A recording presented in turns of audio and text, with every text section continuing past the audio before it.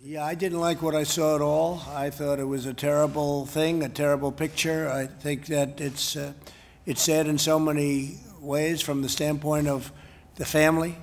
Uh, when you look at George Floyd and his family, and you see uh, what that's done to them, uh, just just a terrible thing. It's he was in tremendous pain, obviously, and uh, couldn't breathe. It was very obvious to anybody that watched it. It was a very, very sad thing for me to see that. I want to express our nation's deepest condolences and most heartfelt sympathies to the family of George Floyd.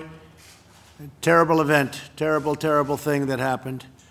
I've asked that the Department of Justice expedite the federal investigation into his death and do it immediately, do it as quickly as absolutely possible. Can't allow a situation like happened in Minneapolis, to descend further into lawless anarchy and chaos, and we understand that very well. It's uh, very important, I believe, to the family, to everybody, that the memory of George Floyd be a perfect memory. And we brought in the National Guard today, and they're there, and that won't happen again. It can't happen again. We can never let that happen again. That was run by the mayor of a city, and uh, it got, in all fairness to him, it, he was in a tough position, but I don't think they were very well prepared. But we brought in the National Guard. They'll be very prepared tonight.